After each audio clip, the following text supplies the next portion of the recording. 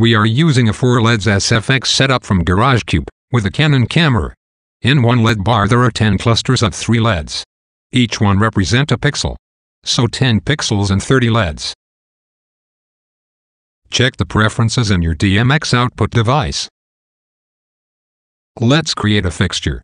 In the DMX panel, add a line. Click Edit. Click the plus button to add a fixture.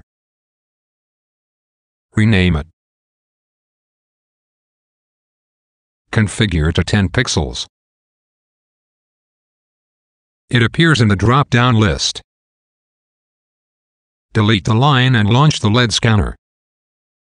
Don't be afraid of the rabbit and select your camera. Choose the SFX created fixture. Input 121 to N channel, corresponding to the 120 LEDs.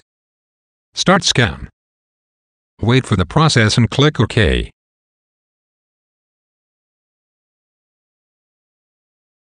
The four SFX fixtures are here now. Let's add a siren material, moving the center, to be enchanted.